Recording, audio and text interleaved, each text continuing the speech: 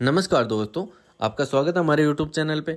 आज हम आए हैं जयपुर में स्थित हवा महल के अंदर, जिसे राजस्थान का एयरद्रुग कहा जाता है। स्वाई प्रताप सिंह द्वारा ये निर्मित है और इसके वास्तुकार हुए थे लालचंद दोस्ता ये मॉडल जो दिख रहा है, ये पूरा का पूरा हवा महल का मॉडल है और इसके अंदर स्टेचू बनाया गया है स्वाई प्रताप सिंह का।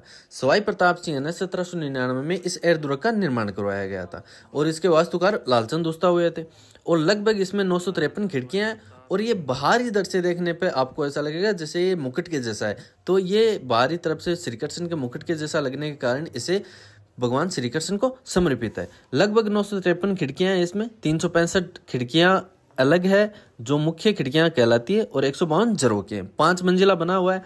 इसका बनाने का उद्देश्य यह था कि महारानी खिड़कियों के पीछे बैठकर गणगौर, तीज, जन्माष्टमी आदि सवारियाँ देख सके, बाज़ार का हालचाल देख सके और बाहरी लोग महारानियों को ना देख सके, इसलिए ये बनाया गया था। इसमें छोटी छोटी खिड़कियाँ बनाई गई, चारों तरफ़ जो लगभग नौ सौ तिरपन खिड़कियाँ इसके अलावा ये पाँच मंजिला है पाँच मंजिला में पहली मंजिल है, जिसे शरण मंदिर के नाम से जाना जाता है। दूसरी है रतन मंदिर, तीसरी है विचित्र मंदिर, चौथी है प्रकाश मंदिर और पांचवी है हवा मंदिर।